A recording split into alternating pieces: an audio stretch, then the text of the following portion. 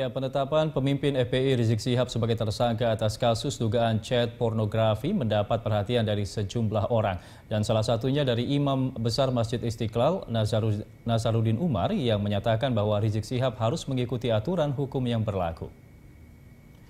Ditemui setelah buka puasa bersama para pejabat tinggi negara di Istana Negara Jakarta, Imam Besar Masjid Istiqlal, Nazaruddin Umar menegaskan Rizik Sihab sebagai warga negara yang baik seharusnya tidak mangkir dari panggilan polisi. Terlebih lagi sebagai tokoh masyarakat, Rizik harus memandang segala persoalan hidup merupakan suratan takdir dari Tuhan. Sehingga dalam menghadapi setiap masalah, Rizik harus tetap berikhtiar dan berdoa.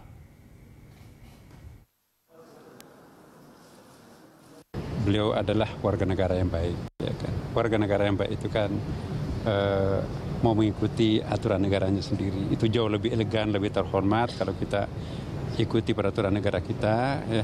Saya kok yakin bahwa uh, akan ada cara yang terbaik, jalan yang terbaik.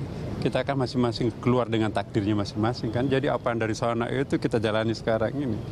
Jadi kita harus bersedia menerima kenyataan. Inilah hidup ya kan, tidak semua apa yang kita harapkan menjadi kenyataan, tapi juga kita harus ada ikhtiar ya.